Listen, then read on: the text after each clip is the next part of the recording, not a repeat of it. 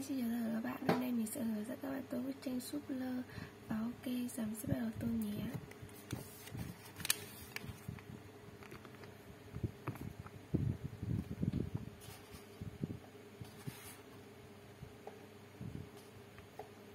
Mình sẽ tô cái phần lá súp lơ có màu xanh nha.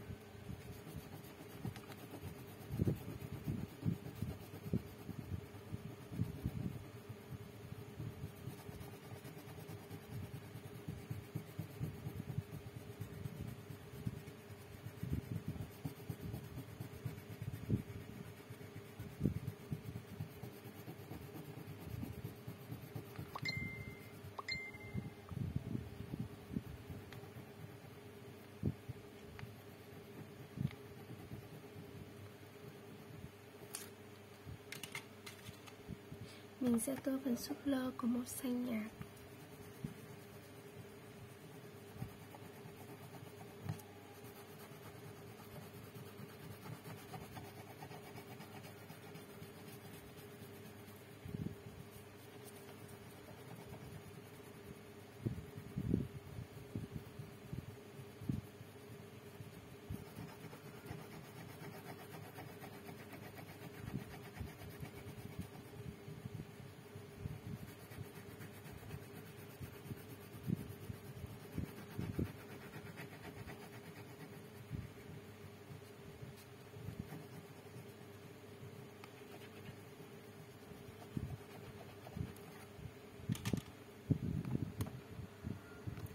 Và ok, thì tôi xong bức tranh súp lơ của mình rồi.